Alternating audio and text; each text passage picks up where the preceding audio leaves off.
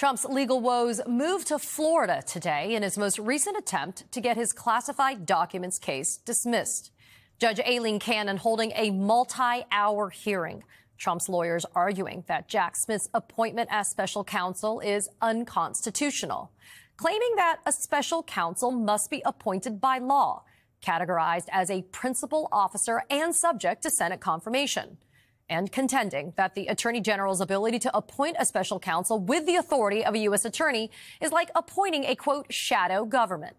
Judge Cannon appeared skeptical of this argument, pushing back, saying, quote, is that really a realistic risk when there are well-defined statutes regarding the Attorney General's appointment authority? The special counsel's office refuting the defense's arguments, saying it disregards precedent and would have a quote pernicious consequence. Smith's office pointing to history and precedent, citing renowned cases that already decided that attorneys general do have the authority to appoint independent special counsels. Experts on both sides questioning why. Why was this motion brought to a hearing in the first place? Take a listen to former Trump attorney Ty Cobb. The independent counsel statute was fully vetted in the Supreme Court and, up, and upheld. The fact she doesn't deny most of these motions without a hearing is silly. Uh, the fact that Trump can get a hearing, you know, at, on the flimsiest arguments is shocking.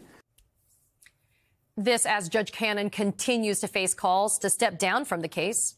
New reporting revealing two Florida judges privately urged her to decline the case when it was assigned to her last year, given Cannon's lack of experience. We know, of course, she refused.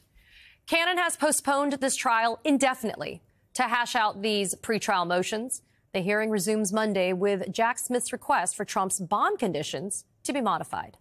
Joining me now is Renato Mariotti, former federal prosecutor and legal affairs columnist for Politico, and Ankush Khardori, former federal prosecutor himself and a senior writer with Politico. Gentlemen, thanks for getting us started. Renato, I'm going to start with you. I mean, I heard the arguments that were coming from Trump's side. And I mean, my question to you straight out of the gate, does that position hold any water? I mean, you had Emil Bove saying that Jack Smith does not have, quote, sufficient oversight on his decision making. But you and I both know that if there was any more court, quote, coordination between Jack Smith and Attorney General Merrick Garland, that Trump's position would be there's too much oversight over Jack Smith.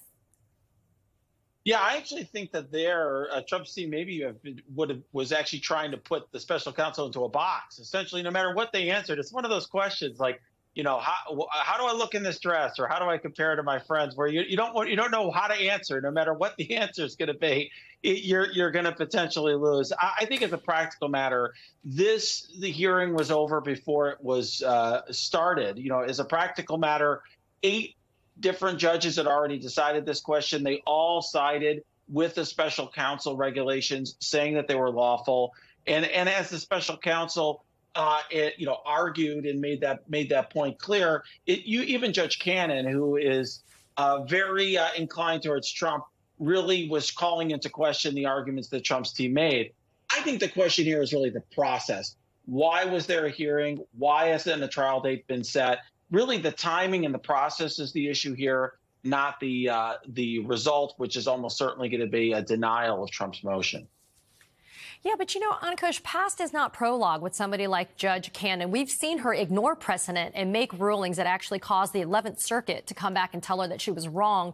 Your colleagues at Politico have written that Trump's claim is, quote, a far-fetched bid because no, numerous courts have rejected nearly identical constitutional challenges to other special counsels. Renato just making reference to the fact that on eight prior occasions, this particular challenge has been shut down in other jurisdictions. But why is Judge Cannon entertaining this? Ankush, this wasn't like a 30 minute hearing where you walk in, it's motion calendar, right? We're done, right? Hours later, we have her entering an order that allows prior to June 24th, both sides to file separate notices of supplemental authority not to exceed five double spaced pages.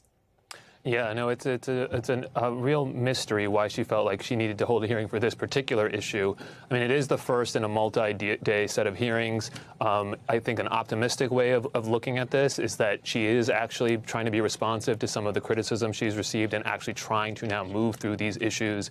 Um, one way to try to move through them, if you're someone a, a judge who's somewhat inexperienced, maybe not totally uh, confident about your mastery of the issues is to bring in uh, lawyers, hold oral, oral, arguments, ask them some questions.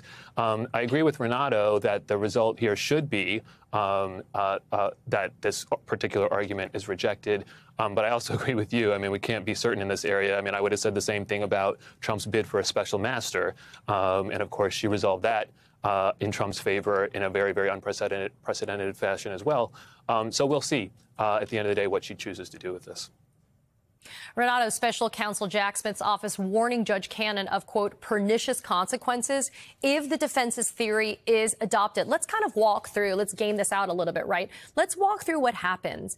If Judge Cannon agrees with Donald Trump and grants the motion to dismiss on the basis of an unconstitutional appointment of Jack Smith, what are the next steps? Well, it's certainly going to go up on appeal. Uh, you know, as Ankush uh, alluded to a moment ago, uh, this is not the first time uh, that Judge Cannon has, you know, been faced with an issue, and previous where previously, I will say, that you know, as he pointed out, she she came on the wrong side of that issue, issued an unprecedented ruling. Ultimately, the 11th Circuit Court of Appeals, and really a smackdown, uh, reversed that decision that she made. So that's one uh, consequence there. But you know, another consequence is you know, this is not the only special counsel we've had. Uh, in fact, there's another special counsel right now uh, who's litigating cases against a, another uh, individual, uh, Hunter Biden. And so this is an argument that could be made in other in other contexts by others. And essentially, the point being made here to the judge is this ruling that you have is going to have potentially broader consequences. Uh, let's not do something foolish, uh, but focus entirely on this single case.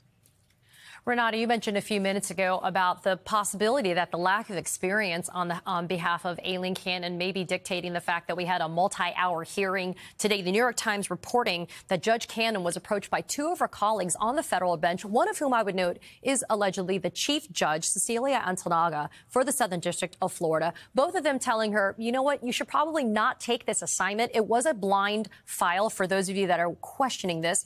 It was a blind filing, meaning it was randomly assigned to Judge Cannon. And yet we've seen things like this that make you more than a little bit suspicious, I would say, Ankush. For example, the magistrate judges in any federal court are the ones that handle some of the more mundane hearings on some of the more discovery issues, if not most of the pretrial motions. And then the district court judge, him or herself, actually does the trial proper. In this instance, Bruce Reinhart, who's the magistrate judge assigned to Judge Cannon, who's the one who signed the search warrants for Mar-a-Lago, she hasn't let Reinhart touch any of these pretrial motions, which moved things along, right, Ankush? And so what's going on here with the fact that she had other people, including a chief judge, telling her you might not want to take this case? Well, look, she seems to uh, want to hold on to this and want to hold on to uh, uh, control sort of the resolution of all of the issues. I think it would have been better for uh, uh, the country, everyone except Trump, essentially, if she had taken that advice um, and passed on the case. Um, but you know that's uh, uh, uh, you know that's a, that was a very serious ask of her. I'm sure that you know she somewhat bristled um, at the notion. Um, it would have been also better for her, as you suggested, to delegate some of this to a magistrate. In fact, there are quite yeah. fact-intensive discovery issues that are currently being litigated in front of her. And as you and Renato know, those sort of fact-intensive discovery issues tend to be the ones that are perfectly uh, ripe for magistrates to handle because they have the time the expertise to dig into those and provide recommendations to the district judge. So it would have been better for her to take advantage of that uh, op option as well. But you know, at the end of the day, you know, I can't you know sort of put myself into her mind. The best I can draw from this is that she feels like she needs to retain ownership of the case in its entirety.